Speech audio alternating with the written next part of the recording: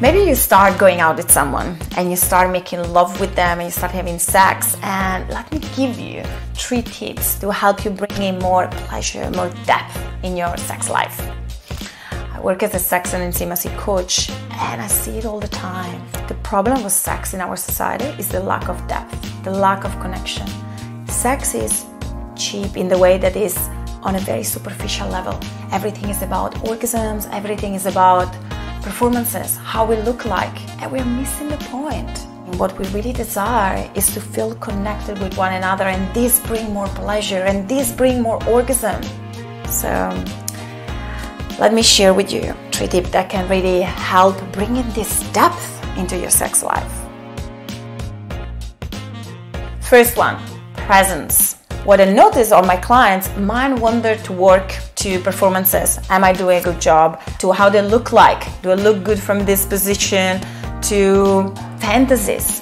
So what you want to do is to just bring your mind back to the present moment, to the sensation on your body, to what's happening. And it's like a muscle. So you're training your mind to become more and more present. Down the track, you're gonna be able to stay in the moment much more and to feel much more, to get more from sex. Because you are there, you're not fantasizing, you're not thinking about work, and you're not thinking if your cock is hard enough. Two, breath and sound. Often we learn how to make love self pleasuring, try to be quiet, or feeling a bit guilty or ashamed when you know mom was around, maybe even. We want to drop that because that leads to us having a very shallow breath. Breath is a powerful tool, is in between like our subconscious and conscious mind, is a great bridge. The breath really helps you to bring pleasure throughout your whole body and enhance the sensation. Putting it in action, if you are self pleasuring, you can take deep breath exhale through the mouth, uh, making a gentle sound, and focusing on the subtle sensations that are arising. If you are with a lover, synchronize your breath as you're making love. At a certain moment, just do it for a couple of minutes. It's gonna like feel like you're one breathing together and add so much connection between you.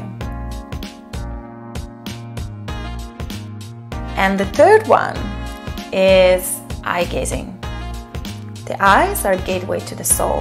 So often when we make love, we like shut in our own pleasure, don't want to be seen. Open your eyes, allow yourself to be seen, and see the other. Really see the depth of the other, beyond how they look like. Feel them deeply. I know that some of the things I said, or maybe all of them, might be out of your comfort zone. What I notice is that the magic happen out of the comfort zone. So what do I say to my clients is try them and then tell me how you feel.